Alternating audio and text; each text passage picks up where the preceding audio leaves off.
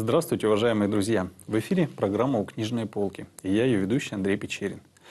Внутри души каждого человека существует дверь, ведущая в Царство Небесное.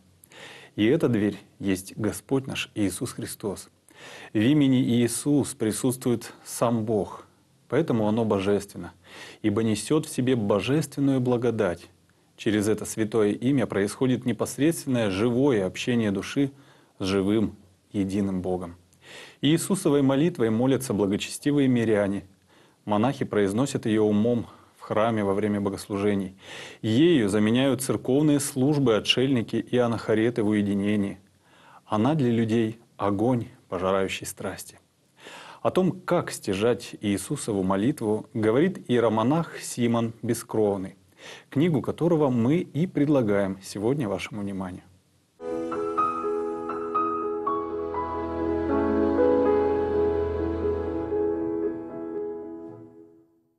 Имя иеромонаха Симона Бескровного хорошо известно современному читателю.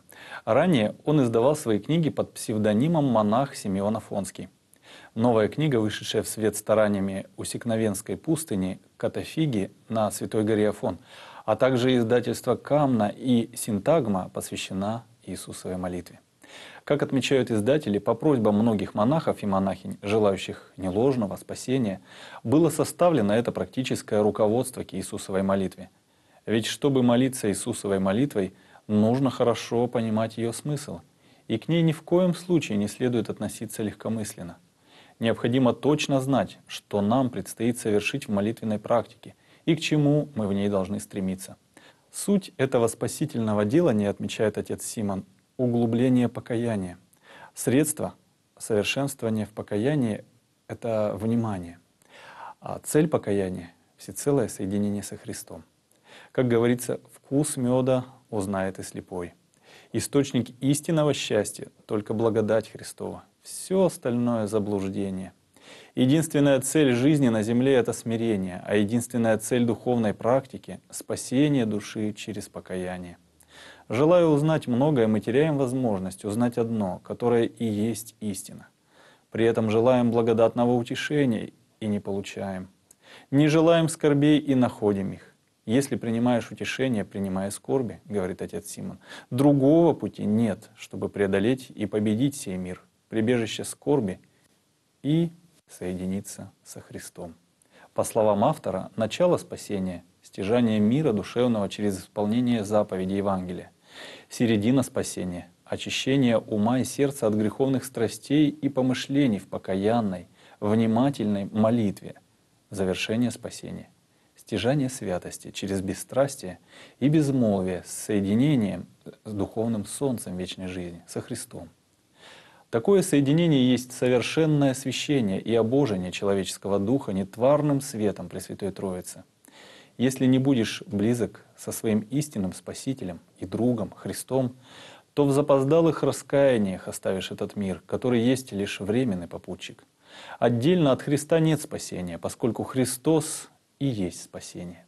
Если не научишься мудро направлять свою жизнь с помощью заповеди Евангелия, то она будет править тобой, словно неразумным младенцем. Прямая задача церкви, отмечает автор, сделать нас духовными существами во Христе – а не бренными жителями земли, привязанными к плоти и суетному ложному существованию. Имя Иисус есть откровение свыше и является энергией божества. В имени Божием живут божественная мудрость и небесный свет, просвещающий всякого человека, произносящего это святое имя. Призывая имя Иисуса Христа, мы опытно переживаем присутствие в нас блаженного и непостижимого Бога. Христос в молитве становится жизнью нашей жизни, уйти от которой некуда, да и невозможно, ибо это есть истинная жизнь вечная в блаженстве Царствия Божия. Сия есть вечная жизнь, да знают Тебя, единого истинного Бога и посланного Тобою Иисуса Христа. Однако шествовать этим путем следует вдумчиво и внимательно – храня во всем трезвение ум. По словам отца Симона, в Иисусовой молитве находится вся полнота спасающей и просвещающей благодати. Соединяющийся с Господом есть один Дух с Господом, говорит апостол. Тот, кто практикует эту молитву, исполняет в ней все обеты и заповеди. Для ведения подлинной молитвенной жизни нужно быть человеком определенной человеческой культуры и иметь чуткость сердца. Христос, сидя одесную Отца, никогда не оставляет своего человеколюбия, а пребывая с людьми, всегда был един с Отцом Небесным. «Я и Отец одно».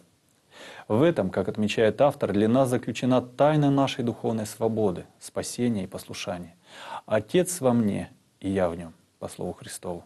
Соединившись через послушание воедино в духе с Господом, мы никогда не должны оставлять всемирную любовь к ближним, а помогая и служа людям в их спасении, не прекращаем пребывать в совершенном единении со Христом и таким образом с Богом Отцом. Именно к такому единению с Отцом Небесным через Иисуса Христа возводит душу Иисусова молитва.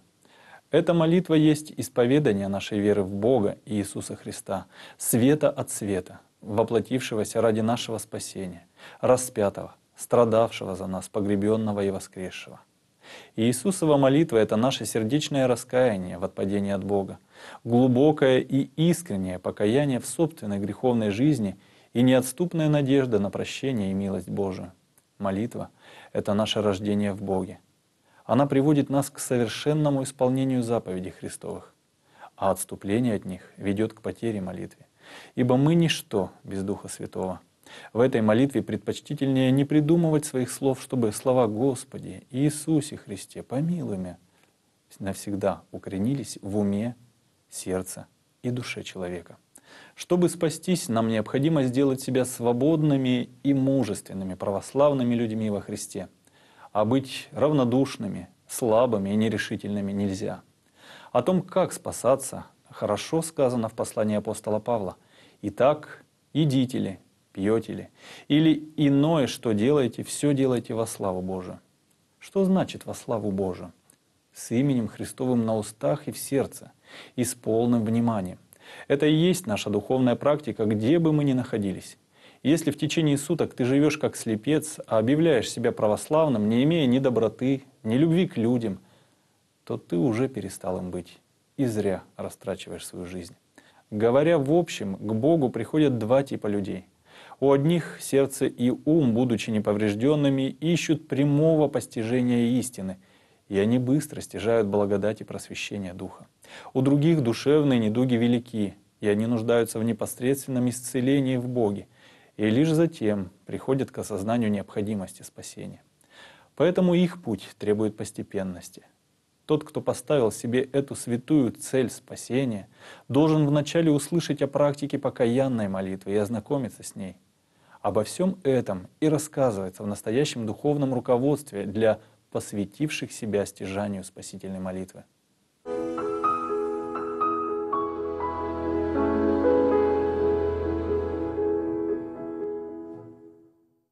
По мнению автора, чтобы стать подлинными христианами и возлюбить Христа всей душой, всем сердцем и умом, необходимо полностью изменить собственную жизнь, сделав покаянную Иисусову молитву ее основанием. Практика молитвы и созерцания должна принести плоды прямо в этой жизни, потому что в ином мире уже поздно что-либо практиковать. Не пытайся обнять Бога мыслью, обними Его молитвенным сердцем и оставайся с Ним всегда — это и есть спасение. Последовательному раскрытию молитвенного возрастания в призывании божественного имени и окончательного спасения и освящения человека посвящены главы этой книги. На этом наша передача подходит к концу. О новинках православной литературы спрашивайте в церковных книжных лавках. Я же прощаюсь с вами.